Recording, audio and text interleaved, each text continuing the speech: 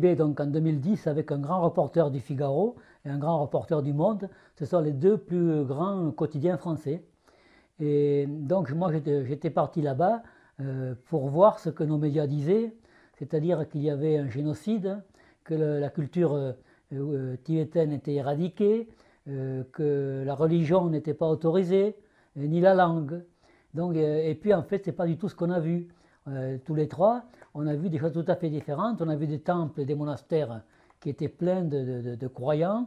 On a vu des, panneaux indicateurs qui étaient écrits en tibétain, les journaux en tibétain, la radio qui parlait en tibétain, la télévision en tibétain. On a même vu d'ailleurs des, des, ordinateurs euh, écrits en tibétain. Et ça, ça nous a beaucoup surpris. Et on a vu aussi l'université de Lhasa avec des dizaines de milliers de livres en tibétain. Donc, euh, ce n'est pas du tout ce qu'on nous avait dit. En fait, on a vu le contraire de ce qu'on nous avait dit qu'on allait voir. Et c'est ce qui nous a, en tout cas, c'est ce qui m'a euh, incité à écrire un livre pour euh, rétablir la vérité. Et donc, en gros, le livre s'appelle Dalai Lama Pasizen. Et j'ai voulu montrer ce que j'ai vu et qui était effectivement en rupture totale avec ce qu'on dit en France et ce que croient les Français d'ailleurs. Et ce que, croient, euh, ce que continuent à croire les Français, ils croient qu'effectivement, euh, au Tibet, on n'a pas le droit d'être bouddhiste, et si on est bouddhiste, on est persécuté. Or, ce n'est pas vrai, et c'est ce que j'ai voulu écrire. Vous savez, écrire un, livre dont le titre dit que le Dalai Lama, ce n'est pas ce qu'on croit, c'est comme si j'avais écrit un livre contre Nelson Mandela, ou contre Gandhi, ou contre Martin Luther King, c'était impossible. Et donc, c'est pourtant ce que j'ai écrit. Et, euh, et on m'a reproché d'avoir écrit ce livre. On ne m'a pas reproché le contenu du livre. On m'a reproché d'avoir osé écrire ce livre-là. C'est comme euh, une sorte de blasphème, en, fait. Et donc, euh, moi, j'ai dit à, mes amis, à mon entourage, écoutez, j'ai écrit le contraire de ce que vous croyez, mais lisez le livre. Et puis, il se trouve que ceux qui ont lu le livre ne me font plus de reproches. Pourquoi? Parce que ce que je dis dans le livre est vrai, et c'est d'autant plus vrai que l'essentiel des informations qui sont dans le livre je les ai puisées dans les mémoires, les discours, les écrits, les conférences du Dalai Lama lui-même, aussi auprès de ses amis.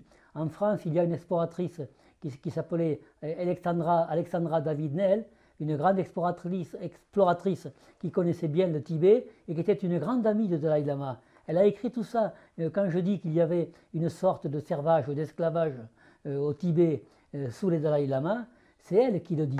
Donc, vous voyez, donc, je ne suis pas allé chercher des sources auprès des autorités chinoises. Et c'est la raison pour laquelle ceux qui lisent ce livre-là ne me font plus de reproches. Ceux qui ne l'ont pas lu ont été extrêmement sévères. Notamment, je pense au responsable européen des, bouddhistes en exil. Lui, il, a vraiment, il a été insultant envers moi. Voilà. Mais ça, ce n'est pas, pas très grave. Ce qui est, ce qui est vrai, c'est que le livre, euh, quand, il, quand il a été lu, ne donne plus euh, lieu à des critiques. Et ce qui est vrai aussi, c'est qu'il a été traduit en six langues. Donc ça prouve bien qu'en fait, il avait peut-être un certain intérêt. Et ensuite, ce que j'écris dans le livre euh, n'est pas différent de ce qu'ont écrit mes collègues euh, du Monde du Figaro dans leurs articles. Donc il n'y a pas de contradiction entre ce que j'ai écrit et ce qu'ils ont écrit eux. Alors, le soutien des États-Unis au Dalai Lama, c'est un soutien organisé depuis le début, depuis le début, tout le temps et même quand il était, euh, encore au Tibet. Et ce sont effectivement des dollars euh, par la National Endowment for Democracy, la NED. J'ai fait la démonstration dans un livre que j'ai publié en 1973, et puis dans, mon livre sur le Dalai Lama, et puis dans mon livre tout à fait récent sur les Ouïghours, j'ai fait la démonstration que cette organisation, la NED, est une filiale de la CIA. Ça, c'est la démonstration, elle est faite. Et cette organisation-là, la NED, on la trouve dans tous les pays, dans toutes les régions où les États-Unis veulent créer des troubles. On l'a beaucoup trouvé euh, au Venezuela, au Nicaragua, on l'a trouvé à Hong Kong, donc on l'a trouvé au Tibet. Au Tibet, ils, avaient 16 programmes. J'ai regardé, ils avaient 7 programmes différents sous prétexte d'aide aux, Tibétains. C'était des programmes en fait d'argent de la CIA qui arrivaient comme ça.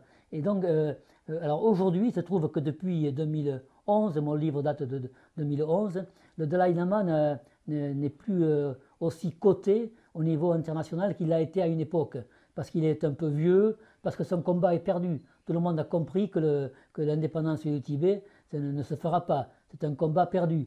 Donc les États-Unis s'intéressent un peu moins à, lui, d'autant plus qu'ils ont orienté leur attention et leurs efforts récemment sur Hong Kong et sur, le Xinjiang. Donc d'un seul coup, le Tibet est moins, est moins intéressant. ce projet qu'avaient les États-Unis de, créer une région, enfin un pays indépendant avec le Tibet, ce, projet est, un projet qui ne va pas aboutir. D'abord, les Tibétains n'en veulent pas, et ensuite, les Chinois ne, laisseront pas une région qui est grande comme un quart de, de la Chine, je crois, et qui est le toit du monde. Donc, c'est le toit de, c'est le toit de, la Chine aussi. Laisser le Tibet indépendant, ça voudrait dire qu'il y aurait rapidement des bases de l'OTAN et des missiles américains braqués sur la Chine. Donc c'est impossible. Et c'est la raison pour laquelle le, Tibet maintenant devient quelqu'un un peu folklorique, mais il n'a plus l'importance politique qu'il pouvait avoir avant.